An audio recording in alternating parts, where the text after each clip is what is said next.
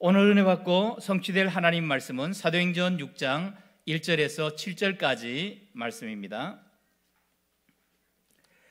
그때 제자가 더 많아졌는데 헬라파 유대인들이 자기의 과부들이 매일의 구제에 빠짐으로 히브리파 사람을 원망하니 열두 사도가 모든 제자를 불러 이르되 우리가 하나님의 말씀을 제쳐놓고 접대를 일삼는 것이 마땅하지 아니하니 형제들아 너희 가운데서 성령과 지혜가 충만하여 칭찬받는 사람 일곱을 택하라. 우리가 이 일을 그들에게 맡기고 우리는 오로지 기도하는 일과 말씀 사에게 힘쓰리라 하니 온 무리가 이 말을 기뻐하여 믿음과 성령이 충만한 사람 스데반과 또 빌립과 브로고로와 니가노르와 디몬과 바메나와 유대교에 입교했던 안디옥 사람 니고라를 택하여 사도들 앞에 세우니 사도들이 기도하고 그들에게 안수하니라 하나님의 말씀이 점점 왕성하여 예루살렘에 있는 제자의 수가 더 심히 많아지고 허단 제상의 무리도 이 도에 복종하니라. 아멘. 네, 신앙 고백 드리겠습니다. 주는 그리스도시요 살아계신 하나님의 아들이십니다. 아멘. 우리 옆에 분과 한번 인사를 나누겠습니다. 오직 하나님의 뜻을 이루는 청지기가 됩시다. 네, 오늘 봉독해 드린 말씀 가지고 전해 드린 말씀은 하나님의 뜻을 이루는 청직이란 제목으로 하나님 말씀 살펴볼 수 있도록 하겠습니다. 올 한 해 동안 우리가 잡고 온 언약이 오직 여호와의 뜻만이 완전히 서리라는 말씀을 잡고 한 해 동안 기도하면서 또 응답을 받으면서 지금까지 왔습니다. 하나님의 하나님께서는 하나님의 뜻을 우리 하나님의 자녀들을 통해서 이루어 주고 계십니다. 왜냐하면 우리는 하나님의 청직이기 때문에 그렇습니다. 청직이는 오직 주님을 위해서, 오직 하나님을 위해서 어, 일하고 사는 존재들입니다. 다시 말하면 우리는 하나님을 위해서 일하는 존재이고 또 하나님은 우리를 통해서 하나님의 뜻을 이루기를 원하고 계십니다. 우리가 하나님의 뜻을 이루는 것이 전도자의 삶입니다. 다시 말하면 전도자의 삶은 곧 하나님의 뜻을 이루는 것이에요. 제가 섬기는 대교구의 이 사역자 조장들 모임 때 이야기했던 어, 말씀입니다. 삶이 무엇인가? 삶이 무엇인가에 대해서 잠깐 말씀드린 적이 있는데요. 어, 떤 가정에 어, 남편이 바람이 났는데요. 좀 바람이 났으면 다소곳했으면 좋을 텐데 늘 아내를 폭행을 했어요. 폭행을 당하던 이 아내가 하루는 생각을 하기를 나의 삶이 도대체 뭔가 최고로 행복해지기 위해서 결혼을 했는데 시도 때도 없이 폭행만 당하고 나니까 이 아내가 하루는 삶이 무엇인가 회의가 들어가지고요 이런저런 고민하다가 또 재미있는 어, 일거리 또 재미있는 어, 뭐 취미생활 이런 것도 해보기도 하고 또 돌아다니면서 종교를 가져보기도 하고 여러 가지 방법을 다 썼지만은 어, 삶이 무엇인지 도무지 알 길이 없었어요. 그래서 하는 수 없이 결혼한 분들이 마지막 피난처로 가는 데가 있죠. 친정집을 가기 위해서 기차를 탔습니다. 그런데 기차를 탔는데 거기에서 삶이 무엇인가 깨닫게 되어졌다고 그래요. 어, 기차를 타고 한참 가다가 보니까 이 기차 안에서 음식물을 파는 승무원이 어, 자기가 탄 어, 차량 안으로 들어오더니만 큰 소리로 외쳤어요. 삶은 계란입니다. 네, 삶은 달걀입니다. 이렇게 크게 어, 외치는 소리를 듣고요. 깜짝 놀라가지고 삶이 달걀이라니 공공이 생각해 봤어요. 왜 삶이 달걀인가? 달걀은 보면 둥글죠. 우리나라 달걀도 둥글고요. 아, 프리카 달걀도 둥글잖아요. 미국 달걀도 똑같아요. 가만히 생각을 하면서요. 달걀이 둥근 것처럼 나도 어, 모나게 살지 말고 둥글게 살아야 되겠구나. 그런 답을 내렸다고 그래요. 그리고 또 한 가지는 이 여인처럼 남편에게 폭행을 당하고 눈주위가 멍든 어, 그런 경우에 달걀을 가지고 어떻게 하죠? 마사지를 하잖아요. 예. 달걀을 가지고 마사지를 하면 멍도 가지고 상처도 가신다 가시잖아요. 그래서 이 여인이 생각하기를 아하 내가 지금까지 너무 나를 위해서만 살았구나. 남을 치유해 주는 일에 이렇게 쓰임 받는 그런 삶을 살아야 되겠다. 그런 답을 내렸다고 그래요. 그리고 또 한 가지는 뭔가면 이 달걀을 깨보면 노른자하고 흰자가 이렇게 있잖아요. 노른자가 영양가가 높다고 그래가지고 노른자만 계속 먹게 되어지면 콜레스테롤 때문에 네, 병에 걸리기가 쉽잖아요. 그래서 좋은 사람, 나쁜 사람, 나편 같은 사람이 있다고 하더라도 구분하지 말고 네, 잘 이렇게 선대하면서 어, 살아야 되겠다 하는 그런 또 결론을 내리고 마지막으로 한 가지는 이 달걀을 어미달기 한 3주 정도 품고 있게 되어지게 되면 그 달걀 속에서 병아리가 나오잖아요. 그런데 이 병아리가 나올 때 그 딱딱한 껍질을 깨고 나오기 위해서 그 껍질 속에서 발버둥을 치죠. 네, 부리로 쪼고 단단하지 않는 부리와 또 이 발톱을 이용해 가지고 계속해서 움직이다가 결국은 이 달걀 껍질을 깨고 나오게 되어집니다. 여기에서 또 한 가지 어, 진리를 발견한 게 만약에 사람이나 이 어미닭이 이 병아리가 쉽게 나오도록 하기 위해 가지고 껍질을 깨주면 그 병아리는요 오래 살지를 못한대요. 병이 든다고 그래요. 왜 그러냐? 껍질을 깨기 위해서 발붕둥 치는 그 순간에 힘이 생겨나서 건강한 병아리로 이렇게 밖으로 나오게 된대요. 그래서 이 여인이 가만히 생각을 하다가 나도 이 병아리처럼 살아가면서 여러 가지 문제와 사건, 어려움이 있어도 네, 정말 네, 어, 최선을 다해서 문제를 이기면서 극복하며 살아야 되겠다. 남편 문제, 아, 이 문제도 내가 극복해야 될 문제구나 생각을 하고 어, 귀한 깨달음을 가졌다. 그런 이야기가 있어요. 삶이 뭐라고요? 네, 삶은 달걀입니다. 제가 어, 인도를 하고 있는 그 지교회에 조장 역할을 하시는 집사님이요. 가끔은 이 명언 비슷한 그런 이야기를 해요. 사람에게는 세 가지 복이 있다고 그래요. 첫 번째는 돈복이고, 그두 번째는 인복이고, 세 번째는 극복이라 그렇게 이야기를 하대요. 세 번째 복이 뭐라고요? 극복. 네. 살아가면서 문제가 없으면 좋은데 문제도 있고 어려움이 있죠. 이 여인처럼 남편이 바람나고 정말 가정이 파탄날 것 같은 그런 문제도 사건도 있을 수가 있어요. 오늘 언약 가진 우리 하나님의 자녀들은 하나님 말씀 붙잡고요. 믿음으로 극복해 나가는 그런 영적인 삶이 되어야 될 줄 믿습니다. 어, 삶이 무엇인지 몰라서 방황하던 여인처럼 네, 영적인 삶에 어떤 문제나 사건이 있더라도요. 어, 우리는 극복해 나가야 되는데 우리가 극복해야 될 이유가 있어요. 그것은 뭔가 하면 나의 뜻을 이루는 삶이 아니라 하나님의 뜻을 이루는 삶을 위해서 우리가 나가게 되어지게 되면 어떤 문제도 어떤 어려움도 우리는 헤쳐 나갈 수 있을 줄 믿습니다. 자, 그러면 하나님의 뜻이 뭔가? 하나님의 뜻만 알면 되겠죠. 하나님의 뜻을 알게 되어지게 되면 그 하나님의 뜻을 이루기 위해서 우리가 달려나가면 되어지는데요.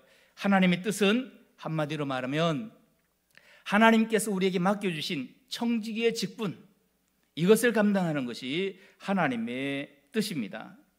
이제 돌아오는 주일이면요. 2020년도에 이제 헌신할 청지기 명단들이 다 나오게 되어집니다.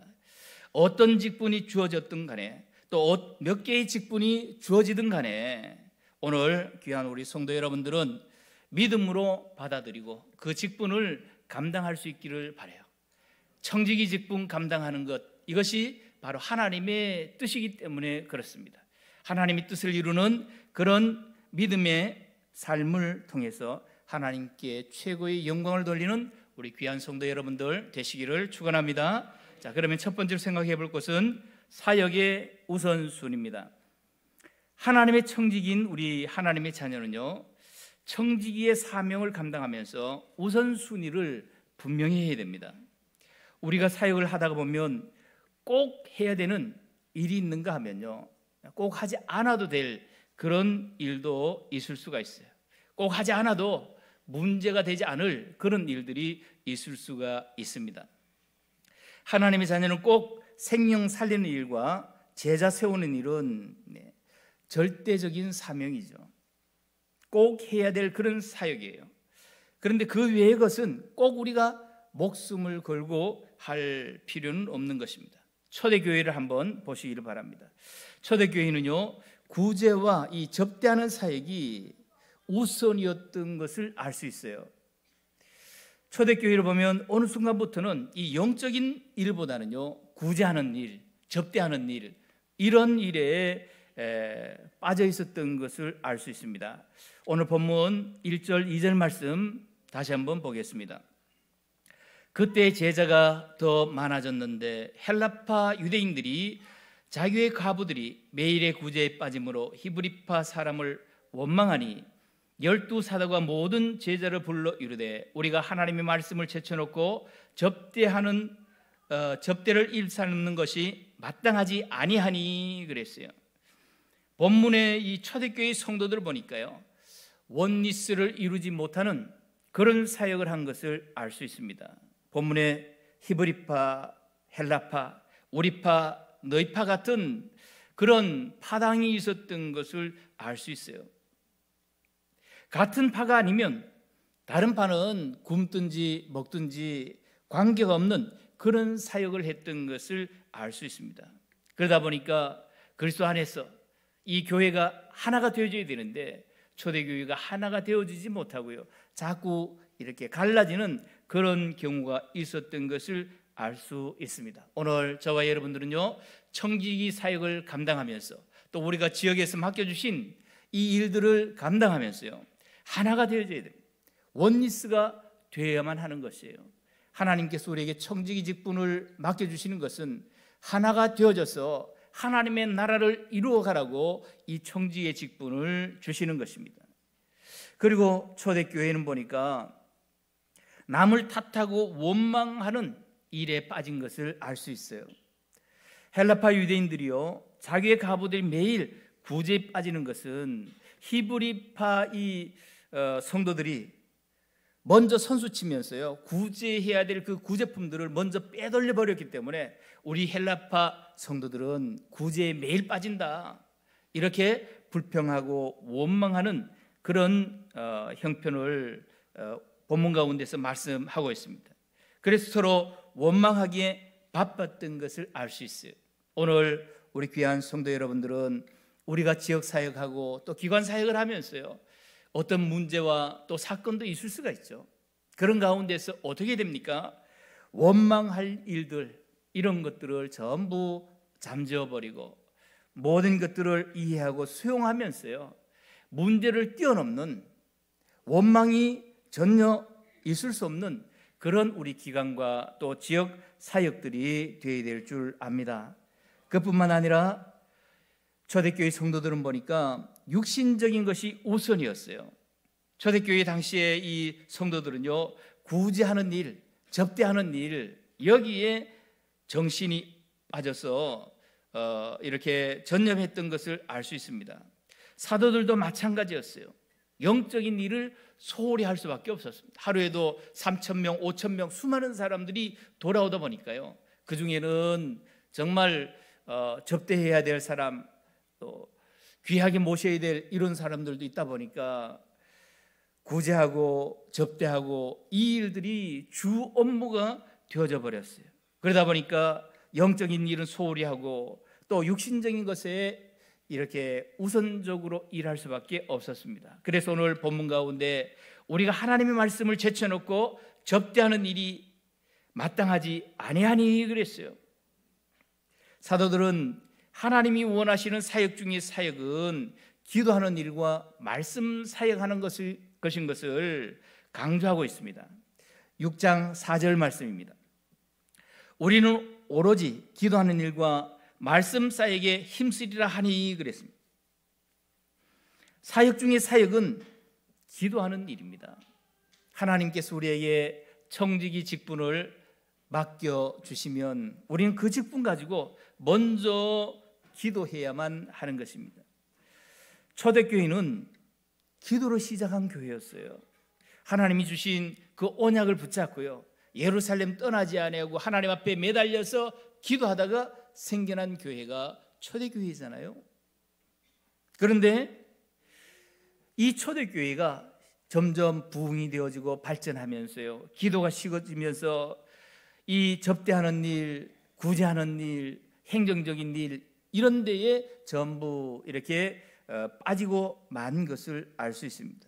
오늘 우리의 사역은 정말 어, 맨 처음 초대교회가 시작 되어졌을 때처럼 오직 기도하는 그런 교회 또 그런 모임 그런 청지기들이 되어야 될 줄 믿습니다.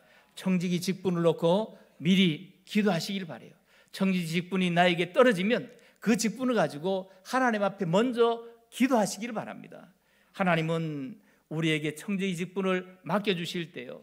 기도를 통해서 감당할 수 있는 힘을 우리에게 주실 줄 믿습니다.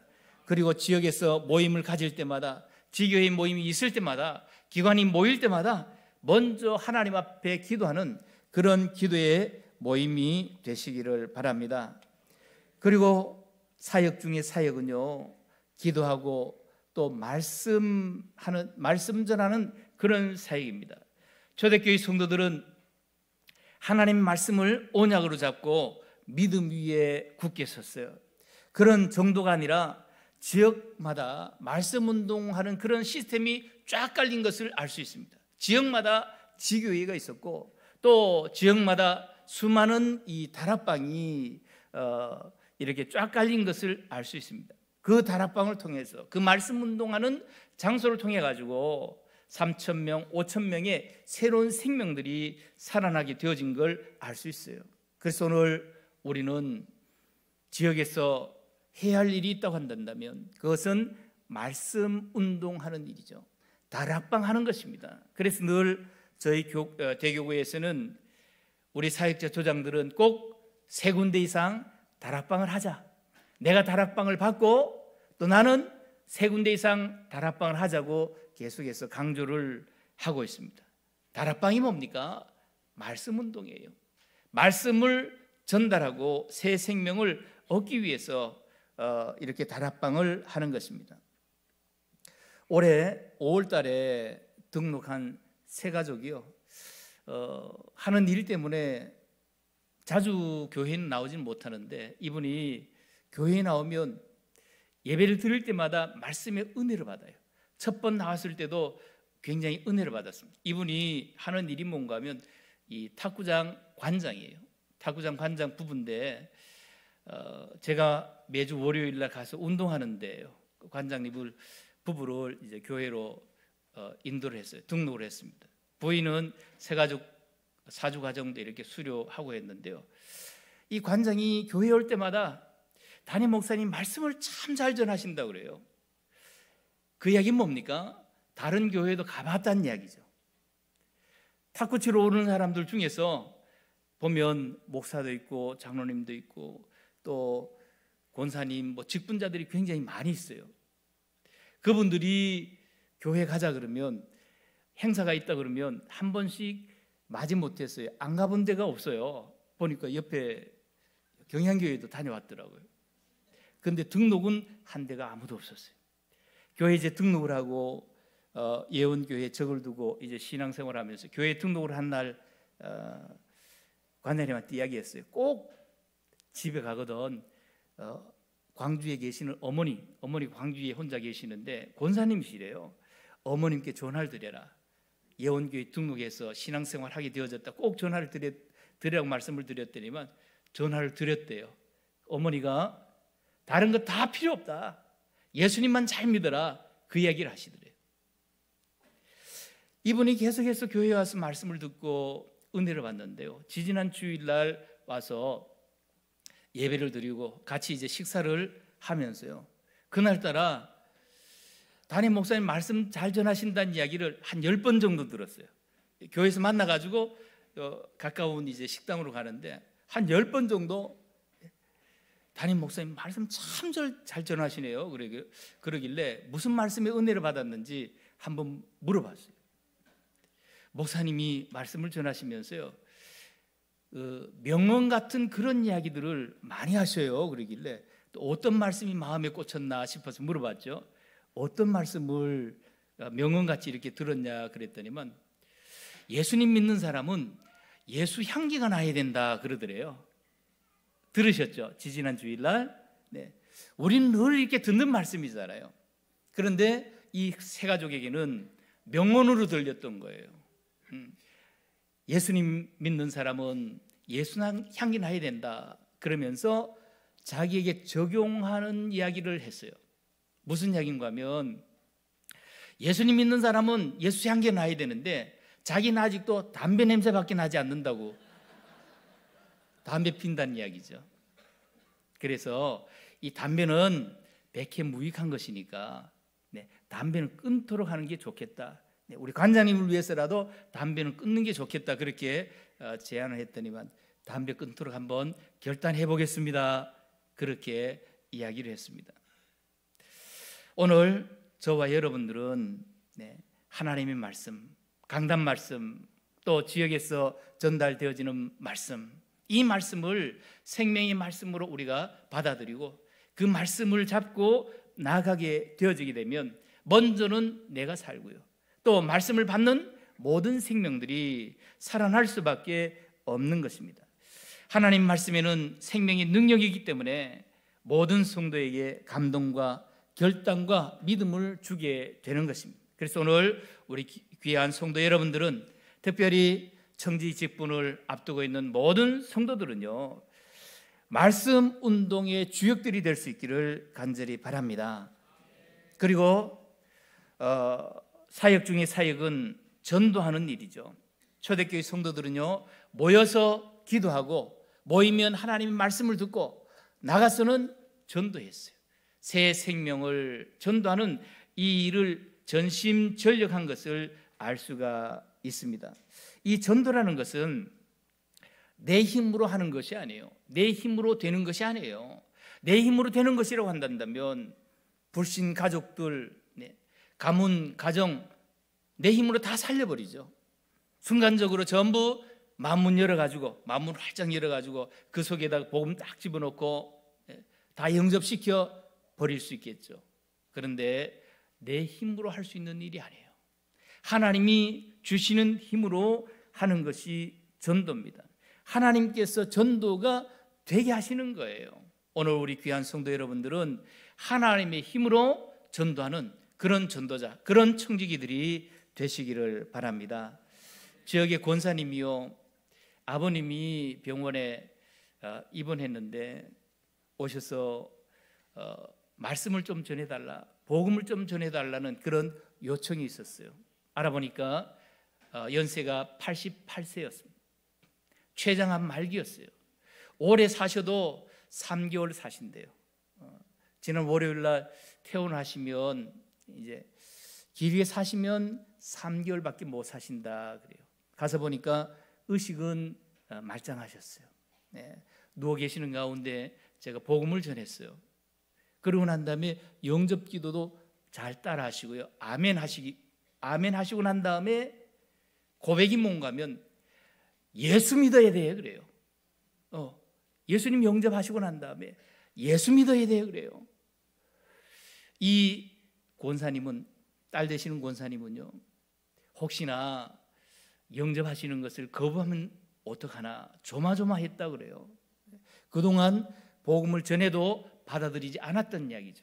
그동안 여러 차례 거부했던 이야기잖아요.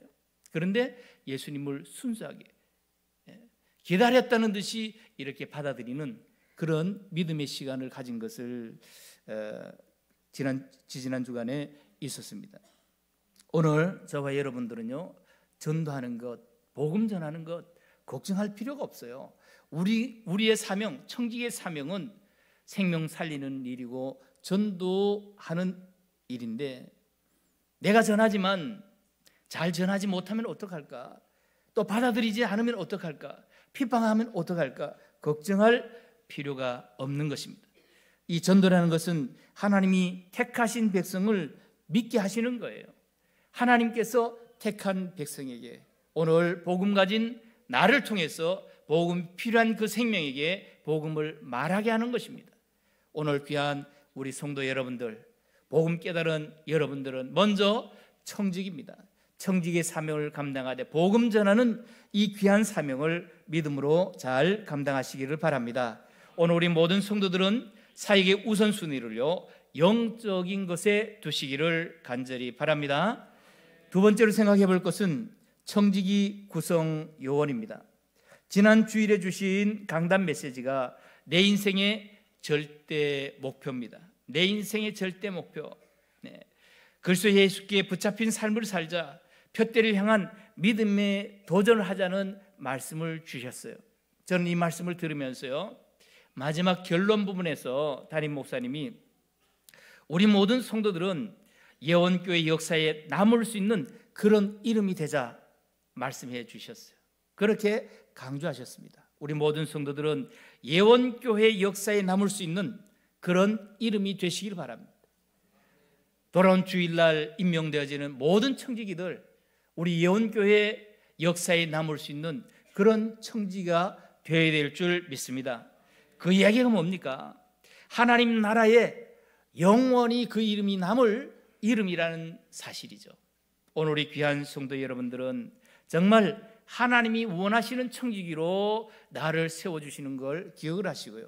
하나님의 나라를 위해서 전심 전력하는 그런 청지기가 되시기를 바랍니다. 오늘 본문 말씀은요, 초대교회가 어떤 사람을 청지기로 세웠는가 하는 것을 알 수 있습니다. 본문 6장 3절을 보면 형제들아 너희 가운데서 성령과 지혜가 충만하여 칭찬받는 사람 일곱을 택하라. 우리가 이 일을 그들에게 맡기고 6장 5절 6절 말씀입니다. 온 무리가 이 말을 기뻐하여 믿음과 성령이 충만한 사람 스데반과 또 빌립과 브로고로와 니가노르와 디몬과 바메나와 유대교에 입교했던 안디옥 사람 니골라를 택하여 사도들 앞에 세우니 사도들이 기도하고 그들에게 안수하니라 그랬습니다. 여기에 보니까 초대교회는요 성령 충만한 사람을 청지기로 세운 것을 알 수 있어요. 성령 충만한 사람을 이렇게 집사님으로 세운 사실을 알 수 있습니다. 세상에서는요 창세기 3장, 6장 또 11장으로 충만한 사람들을 좋아하잖아요. 그런데 교회에서는 이런 사람을 원하지 않습니다. 하나님께서 이런 사람을 쓰기를 원치를 않는 것이에요. 창세기 3장, 6장, 11장으로 충만한 사람이 어떤 사람입니까? 권력 있고 돈 많고 성공한 사람들 이런 사람들을 뽑아서 또 세우고 이런 사람들을 좋아합니다. 그러나 하나님께서는요. 하나님이 귀하게 쓰시는 청지기는 오직 성령으로 충만한 사람, 오직 성령으로 충만한 여러분들을 하나님께서 청지기로 쓰시기를 원하시는 것이에요. 오늘 우리 귀한 성도 여러분들 이미 성령님은 나와 함께 계시면서요. 나를 인도해 주셨어요. 이 시간 이 자리에 나오신 모든 성도 여러분들은 성령의 인도하심 속에 나오신 분들입니다. 성령 충만한 성도 여러분인 줄을 확신하시면서요. 날마다 성령 충만, 24시 성령 충만한 가운데 청지기의 직분에 믿음으로 순종하시기를 바랍니다. 그리고 이 초대교회는요, 지혜 충만한 사람을 청지기로 세웠어요. 세상에는 많은 지식 가진 사람을 좋아하지요. 그러나 하나님이 쓰시기를 원하시는 청지기는 하나님이 주시는 지혜로 충만한 사람을 세우기를 원하십니다. 하나님은 우리가 청지기의 사명을 감당할 수 있는 그런 지혜를 먼저 주셔요. 청지기 직분 주시기 전에 이미 하나님께서 여러분들에게 귀한 지혜, 하나님이 주시는 지식을 어, 여러분들에게 이미 주신 줄 믿습니다. 그리고 이 초대교회는요, 칭찬받는 사람을 청지기로 세웠습니다. 하나님이 쓰시는 청지기는 칭찬받는 사람이에요. 영적으로 객관성을 가지고요. 위 아래 또 앞뒤 좌우의 사람들과 인간관계가 원만하고요. 칭찬받는 사람을 하나님께서 쓰시기를 원하시는 것입니다. 영적인 사람은 칭찬도 함께 받아요. 오늘 모든 여러분들은 하나님 앞에서 또 사람들 앞에서 칭찬받는 그런 청지기가 되시기를 바랍니다. 그리고 초대교회는 믿음 충만한 사람을 청지기로 세웠어요. 하나님이 청지기에 원하시는 것은요, 눈에 보이지 않는 믿음입니다. 믿음. 눈에 보이는 것이 없고 손에 잡히는 것이 없어도요. 하나님께서는 믿음이 충만한 사람을 청지기로 세우기를 원하십니다. 오늘 여러분들에게 하나님께서 원하시는 것은 오직 믿음이에요. 믿음이 충만한 그런 청지기가 되시기를 바랍니다. 앞서도 말씀드린 것처럼 우리 귀한 성도들 청지기 직분 표를 이렇게 받아보시면 어떤 분들은 청지기 직분이요 두 개, 세 개, 네 개, 다섯 개 이렇게 굉장히 많은 직분을 맡은 또 이렇게 맡겨지는 그런 분들이 있을 수가 있어요. 하나님께서는 이미 여러분들을 아시기 때문에 여러 가지 직분을 주시는 거예요. 뭘 하셨습니까? 여러분들의 믿음을 보신 거예요.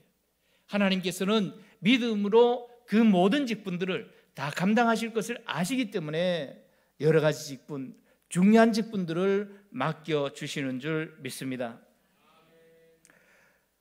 본문 7절 말씀입니다. 하나님 말씀이 점점 왕성하여 예루살렘에 있는 제자의 수가 더 심히 많아지고 허다한 제사장의 무리도 이 도에 복종하니라 그랬습니다. 여기서 보면 말씀 사역의 결과를 알 수가 있어요. 먼저 말씀 운동이 활발했던 것을 알 수 있습니다. 초대교회 성도들은 모여서 네, 말씀 운동을 하고 말씀을 나누고 다락방을 하고 지교회 모임을 가졌었는데요. 이 말씀 운동이 활발했어요. 그 증거가 하나님 말씀이 점점 왕성하여라고 했습니다. 하나님 말씀에는 능력이기 때문에 말씀 운동을 하면 죽었던 영혼이 다시 살아나는 거예요.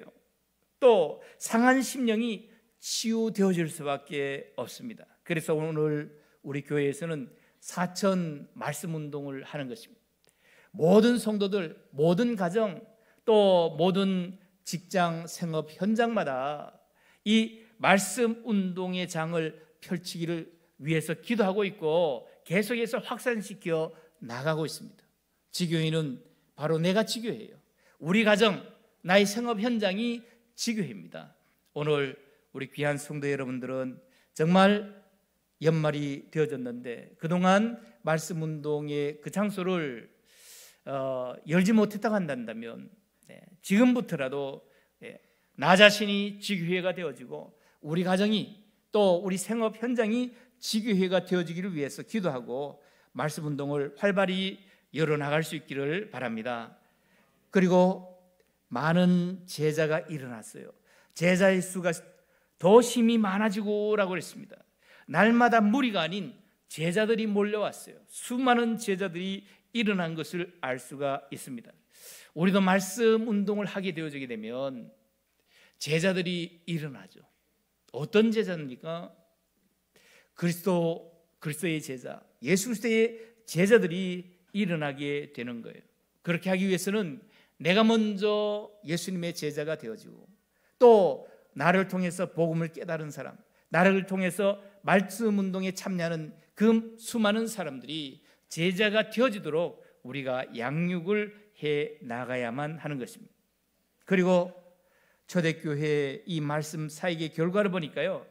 불신앙의 장벽이 무너졌어요. 본문에 보니까 뭐라고 그랬습니까? 호단 제상의 무리도 이 도에 복종하니라 그랬어요. 당시 이 제상은요 종교의 지도자들로서 절대 복음이 들어가지 않던 그런 어, 불신앙의 장벽이었어요. 절대 예수님을 영접하지 않던 그런 무리들이었습니다. 그런데 이런 종교 지도자들, 이런 제사장들도 복음 앞에 무릎을 꿇는 그런 역사가 일어났습니다. 오늘 저와 여러분들도요 말씀 운동 걱정할 것 없습니다. 믿음 가지고 말씀 운동을 지속해 나가게 되어지게 되면 우리 주위의 모든 불신앙들이 무너질 수밖에 없어요. 나 한 사람 때문에 우리 가정과 가문, 지역의 흑암이 무너질 수밖에 없습니다. 불신앙과 제사, 제사가 완전히 무너진 날이 속히 올 수밖에 없는 것입니다. 오늘 우리 귀한 성도 여러분들 이 사실을 다시 한번 기억을 하면서요. 초대교회처럼 성령과 지혜 또 칭찬과 믿음이 충만한 청지기들이 되시기를 간절히 축원합니다. 결론입니다. 오늘 본문을 통해서요. 스데반의 이 모델적인 그런 청지기의 모습을 볼 수가 있습니다.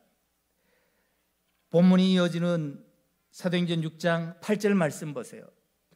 스데반이 은혜와 권능이 충만하여 큰 기사와 표적을 민간에 전하니 행하니 그랬습니다. 10절에 보니까 스데반이 지혜와 성령으로 말함을 그들이 능히 당하지 못하여 했습니다. 또 15절에 보면 공회 중에 앉은 사람들이 다 스데반을 주목하여 보니 그 얼굴이 천사의 얼굴과 같더라 그랬습니다. 스데반은 초대교회의 행정적인 일들을, 일들을 돕도록 세운 그런 일곱 집사님 중에 한 사람이었어요. 그런데 이런 스데반이 사도들처럼요 말씀 사역에 쓰임 받은 것을 알 수 있습니다. 첫 어, 당시의 그 종교 지도자들은 어, 말씀 사역자들을 잡아 가두고 또 죽이는데 혈안이었어요. 결국 말씀 운동에 전심 전력하던 스데반도 공회 앞에 잡혀서 끌려갔죠. 어떤 제목이었습니까? 어, 거짓 증인들을 통했어요. 하나님을 모독했다는 그런 제목을 뒤집어 쓰게 되었습니다. 하지만 하나님은 정직의 사명을 감당한 이 스데반과 함께한 사실을 알 수가 있어요. 오늘 저와 여러분들은요 여기에서 어, 사명을 감당하는 청지기와 하나님은 꼭 함께 하신다는 것을 알 수가 있어요. 하나님은 언약을 잡고 믿음으로 집사의 사명을 감당했던 일곱 집사들과 함께 했을 뿐만 아니라 스데만과 함께 하셨는데요. 하나님은 청지기에게 하나님의 일을 맡기신다는 것을 우리에게 보여주고 있습니다. 하나님은 언제나 하나님이 일을 하시는데요. 하나님 우리의 눈에 보이질 않잖아요. 그런데 하나님께서 일을 하시는데 그 하나님의 일을 보이는 사람을 통해서 일하시는 거예요. 다시 말하면 하나님께서는 오늘도 하나님의 일을 청직이 임명받을 여러분들을 통해서 일하기를 원하고 계시는 것입니다. 청직이 직분 이것은 전부 다 하나님의 일입니다. 하나님은 하나님의 일을 나에게 맡겨 주신다는 것을 기억을 하시고 믿음으로 청지의 직분 받아 드릴 수 있기를 바랍니다. 그리고 하나님은요 청지기에게 하나님 앞에서 일하게 하시는 거예요. 오늘 이 모든 성도들 또 모든 청지기들은요 청지기 이것은 하나님 앞에서 일해야 될 것입니다. 어떤 청지기 직분을 맡았든 간에 어떤 청지기 직분이 주어지든 간에 이 청지기 직분은 하나님 앞에서 하는 거예요. 누가 알아주든지 알아주지 못하든지 간에 나는 이 청지기 직분을 하나님 앞에서 감당하게 되어지게 되면 하나님께서 그 직분 가운데서 사명 감당 가운데서 귀한 열매들을 주시는 것입니다. 스데반은 사람의 눈치를 보질 않았죠. 스데반처럼 오늘 저와 여러분들도 핍박을 두려워하지 않고 문자 사건을 두려워하지 않고 정말 믿음으로 사명을 감당하는 그런 청지기들 되시기를 바랍니다. 그리고 하나님은요, 청지기에게 세상이 감당하지 못하는 그런 힘을 주십니다. 하나님의 능력이면 우리는 못할 일이 없죠. 사도 바울은 내게 능력 주시는 자 안에서 모든 것을 할 수 있다고 고백을 했습니다. 오늘 우리 하나님께서는 청지기 직분을 맡을 우리에게 감당할 수 있는 힘을 주실 뿐만 아니라 하나님은 청지에게 함께 하셨어요. 세상이 그 사람을 감당할 수 없도록 그런 힘과 능력을 주실 줄 믿습니다. 사도행전 7장 55절에서 6절, 60절 말씀을 제가 한번 읽어드리겠습니다. 스데반이 성령 충만하여 하늘 우러러 주목하여 하나님의 영광과 및 예수께서 하나님 우편에 서신 것을 보고 말하되 보라 하늘이 열리고 인자가 하나님 우편에 서신 것을 보노라 한데 그들이 큰 소리를 지르며 귀를 막고 일제히 그에게 달려들어 성 밖으로 내치고 돌로 칠세 증인들이 옷을 벗어 사울이 하는 청년 발 앞에 두니라. 그들이 돌로 스데반을 치니 스데반이 부르짖어 이르되 주 예수여 내 영혼을 받으시옵소서 하고 무릎을 꿇고 크게 불러 이르되 주여 이 죄를 그들에게 돌리지 마옵소서 이 말을 하고 자니라 결국 스데반은요 청직의 사명을 감당하고 순교했습니다. 스데반은 어떤 청직이었습니까? 세상이 감당하지 못하는 청직이었습니다. 오늘 저와 여러분들 청직이 임명받을 모든 성도 여러분들은 세상이 감당하지 못할 그런 힘과 능력을 하나님이 주실 줄 믿고 내 인생의 절대 목표가 되시는 예수서 안에서 하나님의 뜻을 이루는 선한 청지기들이 되시기를 간절히 축원합니다.